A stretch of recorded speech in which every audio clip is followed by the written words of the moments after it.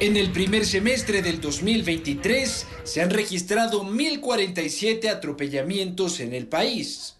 Si ingresamos este dato en un reloj, nos encontramos con el espeluznante dato de que cada día hay seis atropellados y uno de ellos fallece.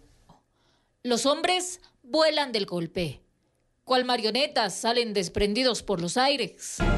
El cuerpo de la fémina estaba en el suelo. Según dicen autoridades de tránsito, la mujer fue arrollada por un bus. Buena parte de los 1.047 atropellamientos fueron causados por conductores en estado de embriaguez. Vemos con mucha preocupación que no están cumpliéndose los operativos eh, de, control de consumo de, de, licor. Quito es una de las ciudades con la tasa de atropellamiento más alta en Ecuador.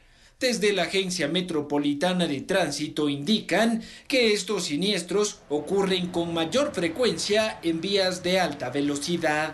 Tenemos un registro de 198 siniestros con 27 personas fallecidas en lo que respecta a atropellos y arrollamientos. Dentro de las vías donde más se han registrado este, este tipo de siniestros son la avenida Mariscal Sucre, la avenida Maldonado, la avenida Simón Bolívar, la avenida 6 de diciembre, Galo Plaza, y 10 de agosto.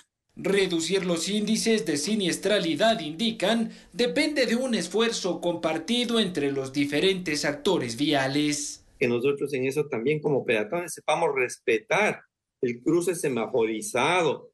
No nos distraigamos utilizando el celular. Finalmente, aseguran expertos, será necesario evaluar los resultados de la nueva ley de tránsito, la cual al parecer, no ha convertido a las vías en lugares seguros para los ecuatorianos. Informó Álvaro Terán.